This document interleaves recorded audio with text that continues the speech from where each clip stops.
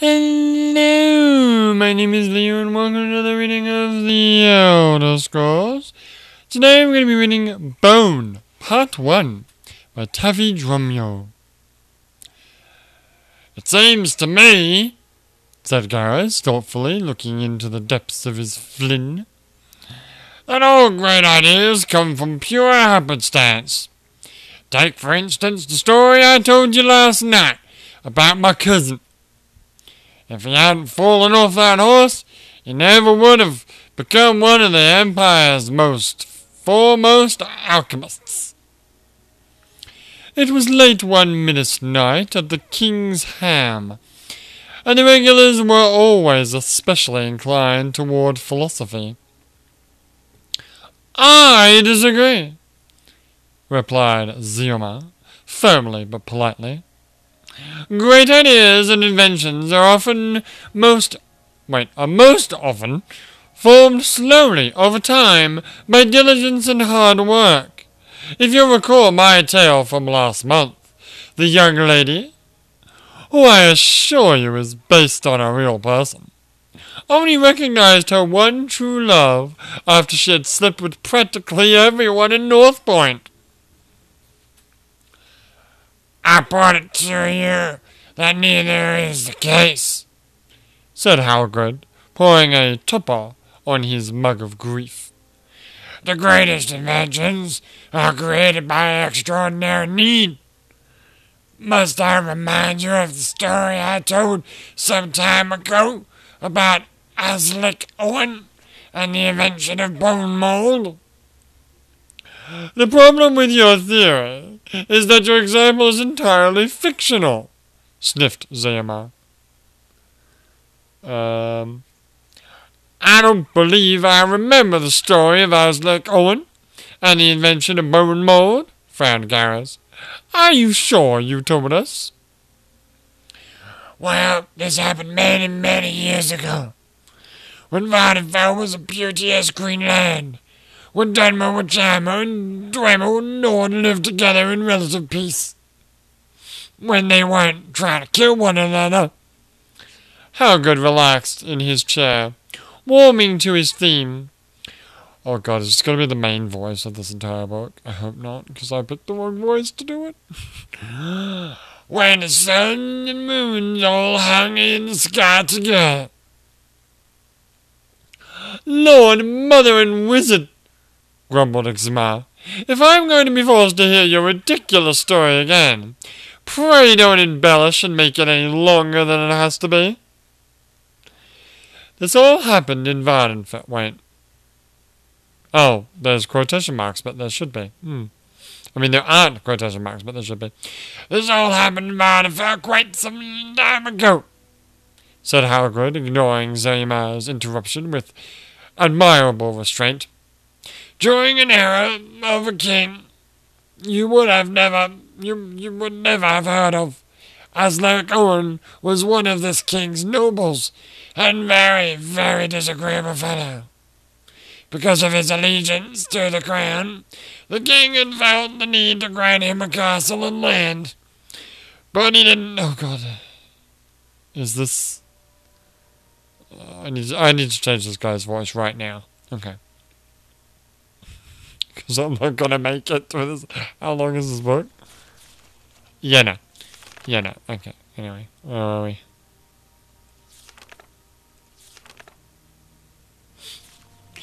About me to grant him. Wait, I'm just gonna do a normal voice. All right.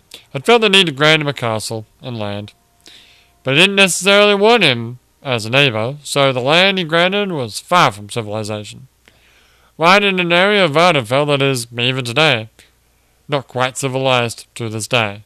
Why it is said today twice. It's fine. Aslick Owen built a walled stronghold and settled down with his unhappy slaves to enjoy a quiet, if somewhat grim, life. It was not long before his stronghold's integrity was tested. A tribe of cannibalistic Nords, cannibalistic Nords, such a thing exists, had been living in the valley for some time, mostly dining on one another. Gross. But occasionally foraging uh, what they liked to call dark meat. The Dunmer. But, that, but you said they were Chimer. Hmm. Zinma, Zinma laughed with uh, appreciation. Marvelous! I don't remember from that from before. It's funny how you don't hear much about the Nord's rampant cannibalism nowadays. This was obviously, as I've said, quite some time ago, said Hagrid, glaring at part of his audience with civil mal- malevolence. And things were in many ways quite different. These cannibalistic Nords began attacking Aslic Owen's slaves in the fields, and then slowly grew bolder, until they held the very stronghold itself under siege. They were quite a fearsome sight. You can imagine a horde of wide, wild-eyed men and women with dagger-like teeth, filed to tear flesh, wielding massive clubs cloaked only in the skins of their victims. Aslic Owen assumed that if he ignored them, they'd go away.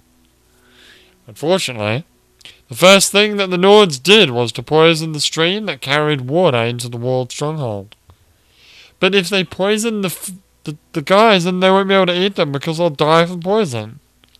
It's stupid. It's really dumb, anyway, whatever. Um, all the livestock and most of the slaves died very quickly before this was discovered. There was no hope to, of rescue, at least for several months when the king's emissaries would come reluctantly to visit the disagreeable vassal. The next closest source of water was on the other side of the hill, so Aslic Owen sent three of his slaves with empty jugs to bring some back. They were beaten with clubs and eaten before they were a few feet outside the stronghold gates.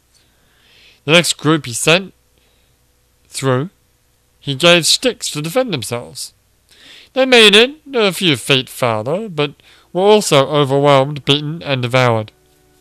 This was obvious, sorry, it was obvious, that better personnel defense was required. Aslic Owen said, uh, went to talk to his armourer, one of his few slaves with specific talents and duties. Oops, I double clicked. No, you didn't. Oh. The, the slave, wait, do, do, the, do the voice you did before. No, I'm to do this voice. The slaves need armor if they're going to make it to the river and back, he said. Collect every scrap of steel and iron you can find, every hinge, knife, ring, cup, everything that isn't needed to keep the walls sturdy. Smelt it, and give me the most and the best armor you can, very, very quickly. Well, that was that was uh, Aslic Owen. The armor whose name was Gothric, Gothric, was used to Aslic Owen's demands and knew that there was there could be no compromise in the quality and quantity of the armor, or the speed at which he worked. I feel like I've read this book before. Yeah. What's the name of this book again? Bone. This isn't a book in. It's not a book in Daggerfall, is it? You better look this up because I. I don't think so. I think you've read it. I think you read it in Skyrim like a long time ago. That makes more sense. Anyway, he labored for 30 hours without a break. Wow. And recall without any water to slake slake his thirst as he struggled with the kiln and anvil until finally he had six suits of mixed metal armor. Six slaves were chosen, clad in the armor, and sent with jars to collect river water. At first, the mission progressed. The mission progressed well. The Nords attacked the armored slaves with their clubs, but they continued their march forward, warding off the blows.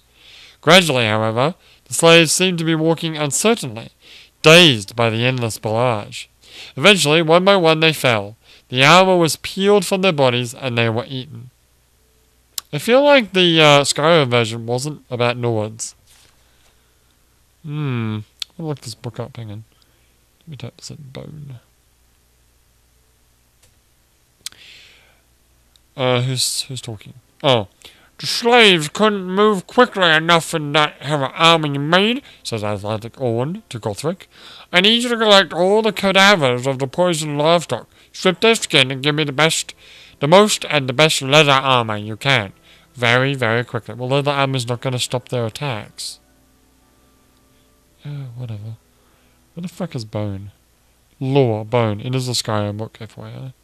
Now, my main question is, is it a book from, uh, no, Morrowind and Skyrim. Hmm.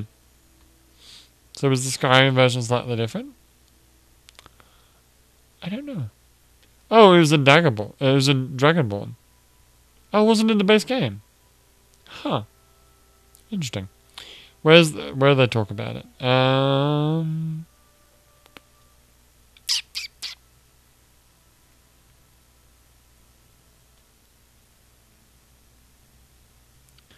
Um. Sorry, give me just a second. I just want to confirm that they are, in fact, talking about. Yep, no, it's the same book. Okay. Talk about Nords. Hmm, fair enough. Where was I? Gothric did as he was. I'm pretty sure I've read this book, though. I might have even read it in. Uh, I didn't really do book readings in my Dragonborn playthrough, did I? I don't know. I feel like I did everything. I recorded everything that I did in Dragonborn. Maybe I did. Anyway, Gothric did as he was told, though it was a particularly repulsive task given the rancid state of the livestock. Normally it takes quite a time to treat and cure leather, so I understand. But Gothric worked at it tirelessly, and in half a day, damn, in a half a day. Pretty sure you don't need one of those A's. You can say in half, in a half day. Yes, that's right. You can say in a half day or in a half a day, but whatever. Never mind. Some, sometimes my um, linguistic uh, tertiary education really does me a disservice because I can't stop arguing semantics. Anyway. That's I'm, I'm not a grammar Nazi. No, I'm not a grammar Nazi. I I fully embrace the concept of uh, language evolution. That language is constantly evolving, and there is no, oh no, the language is going to the dogs. No, it's just, you know, it's just getting better. It's not getting better, it's changing to suit the need of the people of the times. That's why we don't speak Elizabethan anymore. Thank God. anyway, uh, where was I? Yes, in half a day, he had twelve suits of leather armor. Twelve slaves were chosen, clad in the armor, and sent with jars to collect river water. They progressed at first much better than the earlier expedition. Two fell almost immediately, but the others had some luck outmaneuvering their assailants while deflecting an occasional blow of the club. Several got to the river, three were able to fill up their jars, and one fellow very nearly made it back to the stronghold gates. Alas, he fell and was eaten. The Nords possessed a remarkably healthy appetite. What? Wait, what's his voice again? What we need. I've forgotten his voice already. The slaves couldn't. Okay. What? I'm trying to. I need S's in the words. What we need before I completely run out of slaves, said Aslan Oric. I mean, Aslic Owen, thoughtfully to Gothric. Is an armor sturdier than the leather but lighter than metal? Oh, you mean medium armor? Which coincidentally doesn't exist in Skyrim? or maybe it does exist. Wait, does medium armor? Because you're right, um... God, what's the name of the armor? The ice armor. Holy shit, I've completely forgotten the name of the armor. Am I not wearing it right now? Yes, I am. It just says ice armor. Stahlrim, that's what it's called. It's called Stahlrim armor, thank you. Um, um, that is medium armor in this game, right? Yep, but I'm pretty sure it's just heavy armor in Skyrim. Unless they introduced medium armor in the Dragonborn DLC. Not really sure. Where are we? Um, I've lost my spot. Uh, here we are. Right. Yes, the armor had already considered that and taken stock of the materials available. He had thought about doing something with stone or wood. Wood? Wood armor? Seems kind of stupid. But there were practical problems, yeah. With demolishing more than the more of the stronghold. Yes, that's true. The next most prevalent, also stone is pretty fucking heavy. The, the next uh, prevalent stuff present in the stronghold was skinned dead bodies, hunks of muscle, ugh, fat, blood, and bone. bone mold armor! You're, you're so clever. anyway, for six hours he toiled relentlessly until he produced 18 suits of bone mold, the first ones ever created. Aslik Owen was somewhat dubious at the sight and smell, but he was very thirsty. Thirsty? Oh, because water, right. I thought it was like, I want to drink some bone mold. I don't know. And willing to sacrifice another 18 slaves if necessary. Hmm. Might I suggest, Gothric queried tremulously, having the slaves practice moving about in the armor here in the courtyard before sending them to face the north. I've definitely read this book before. Yeah, I remember it now. Aslik Owen coolly allowed and allowed it, and for a few hours the slaves wandered about the stronghold courtyard in their suits of bone mold. They grew used to the give of the joints, the rigid, rigidity, rigidity of the backplate, and weight pushed onto their shoulders and hips. They discovered how to plant their feet slightly askew to keep their balance steady, how to quickly turn, pivoting without falling down, how to break into a run and stop quickly. By the time they were sent out of the castle gates, they were easily, very nearly, almost amateurs in the use of their medium weight armor. Seventeen of them were killed and eaten, well, but one made it back with a jar of water. It's wait, what's the, it's perfect nonsense, said Ismail. But my point is still valid even so. Like all great inventors, even in fiction, the armor worked diligently to create the bowl. The armorer worked diligently to create the bone mold. What's Garrus's voice again? I think there was a good great good deal of happenstance as well, frowned Garrus. But it is an appealing, appalling story. I wish you hadn't told me. If you think that's appalling, grinned Howland, you should hear what happened next. Dun dun dun! To be continued in part two. That was Bone, part one, by Tavi Dromio. And this has been another reading of the Elder Scrolls, but for now, my name is Leo, and I will see you next time.